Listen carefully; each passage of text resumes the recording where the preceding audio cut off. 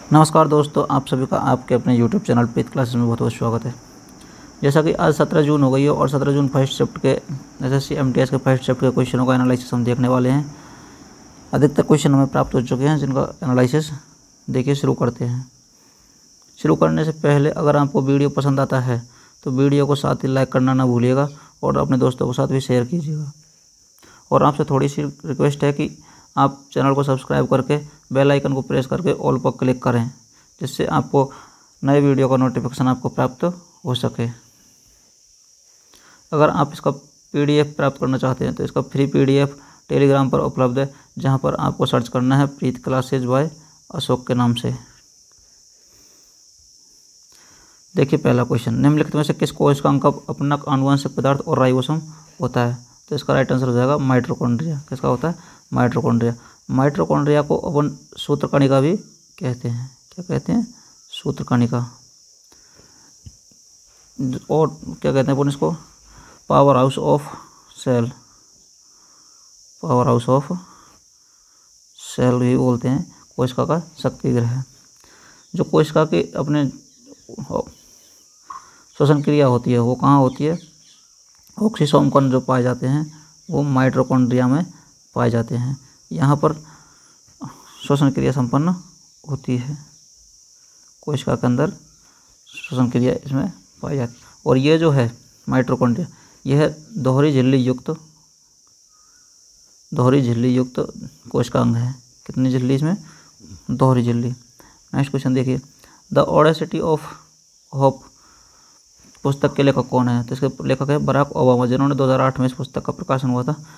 अन्य पुस्तक है बराक ओबामा की, जो नेक्स्ट शिफ्ट में पूछे जाने की संभावना रहेगी आप promised land of thee I sing dreams of my father, ये किसकी पुस्तकें हैं सारी? ये बराक ओबामा की पुस्तक है।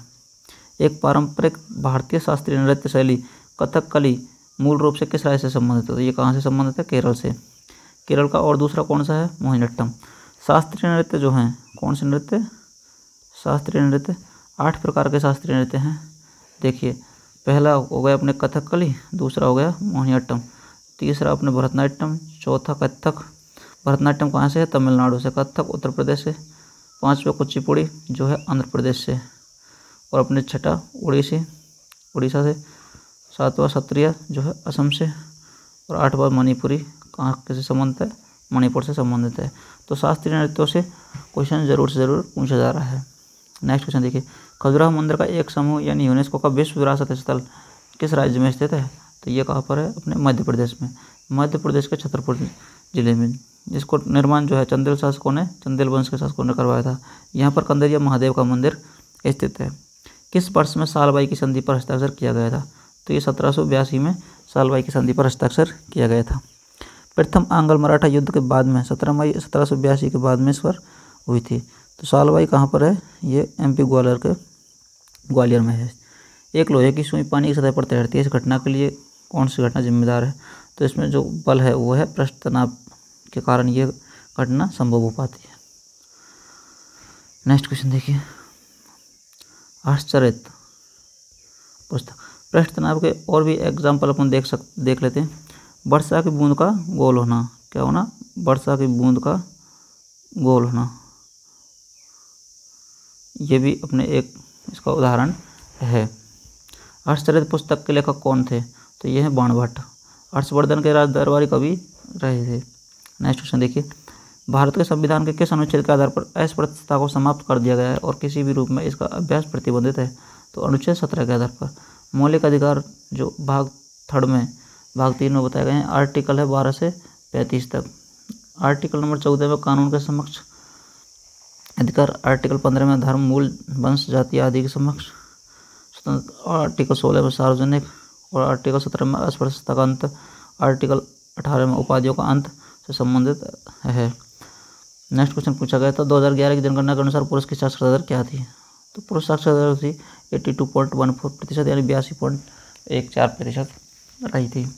अगर महिलाओं की बात करें, महिला साक्षरता की दो हज़ार ग्यारह की जनगणना के अनुसार तो sixty five point four six percent रही थी, यानी पैंसठ पॉइंट चार छः प्रतिशत। देश की कुल साक्षरता दर थी चौहत्तर पॉइंट ज़ीरो चार प्रतिशत। सबसे कम जो जनसंख्या सॉरी साक्षरता दर रही, वो कहाँ की थी? बिहार की।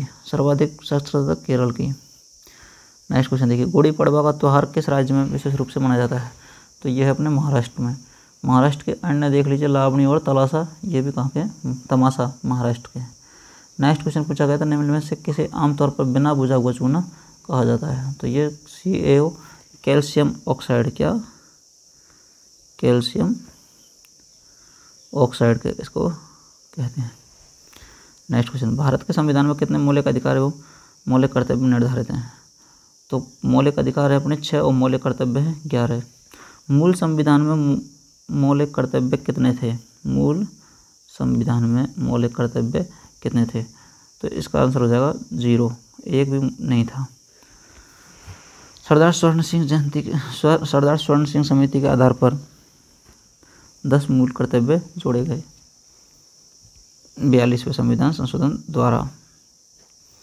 मौलिक अधिकार देख लीजिए। समानता का अधिकार अनुच्छेद चौदह से अठारह में, स्वतंत्रता का अधिकार अनुच्छेद उन्नीस से बाईस में, शोषण के विरुद्ध अधिकार पच्चीस और चौबीस और धर्म की स्वतंत्रता का अधिकार अनुच्छेद पच्चीस से अट्ठाईस सॉरी ये तेईस और चौबीस है।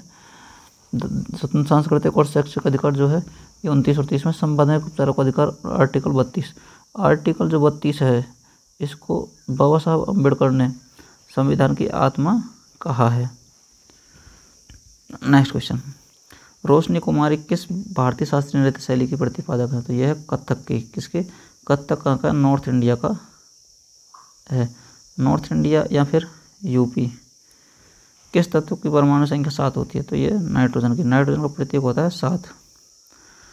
पी ब्लॉक का तत्व है और इसका वायुमंडल में कितनी पाई जाती है? सेवेंटी एट परसेंट पाई जाती है। नेक्स्ट क्वेश्चन अठारह सौ सत्तावन से अठारह सौ अट्ठावन के बीच किसने लखनऊ में शाही प्रतिनिधि के रूप में कार्य किया था? तो बेगम हज़रत महल ने। हॉफमैन कप किस खेल से संबंधित है? तो ये है लॉन टेनिस से संबंधित। डेविस कप अन्य कप देख लीजिए, लॉन टेनिस लेबर कप और एटीपी कप, ये सब किससे हैं? लॉन टेनिस से संबंधित है। कागड़ा, कुल्लू, घाटी भारत के किस राज्य में स्थित है? तो इसका आंसर हो जाएगा हिमाचल प्रदेश में। तो ये थे कुछ क्वेश्चन जो हमने आपके साथ शेयर किए। अगर आपको वीडियो पसंद आई हो तो वीडियो को लाइक कीजिए और अपने दोस्तों के साथ शेयर कीजिए। साथ ही एक प्यारा सा कमेंट कीजिए जिससे हमें मोटिवेशन मिलता है और हम आपको नए वीडियो टाइम पर प्रोवाइड करवा सकें। अगर आप चैनल पर नए हो तो चैनल को सब्सक्राइब कर लीजिए और बेल आइकन को प्रेस करके ऑल पर क्लिक करें, जिससे आपको हमारे हर वीडियो का नोटिफिकेशन प्राप्त हो सके। अगर आपको इसका पीडीएफ प्राप्त करना है तो आप टेलीग्राम पर ज्वाइन कर सकते हैं जिसका लिंक आपको डिस्क्रिप्शन में मिल जाएगा। वहाँ आपको बिल्कुल फ्री पीडीएफ उपलब्ध करवाई जाएगी।